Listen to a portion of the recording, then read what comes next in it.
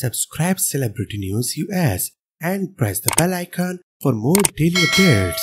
Gayle Hunnicutt, she was an American film, television and stage actress. She made more than 30 film appearances. She co-starred with James Garner in the detective film Marlowe of 1969, in which her character was a glamorous Hollywood actress. In 2012, Hunnicutt was featured in an episode of the HGTV reality show Selling London. She was born on February 6, 1943 in Texas, United States. Hunnicutt died on August 31, 2023 at the age of 80 years old, cause of death not known.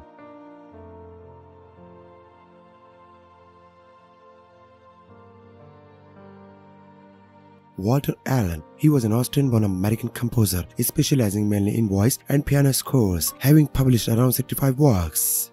He was also a music critic for the Los Angeles Times and an emeritus professor at Loyola Marymount University.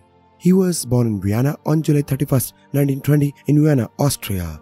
Arlen died on September 2, 2023 at the age of 103 years.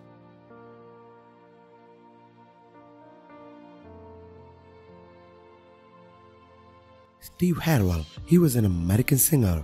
Harwell served as the lead vocalist and frontman for the rock band Smash Mouth. Before his retirement, he and bassist Paul De Lisle were the only two constant members of the band. He has appeared on other television and radio shows, as well as making a cameo in the 2001 film Rat Race. He is best known for the song All Star.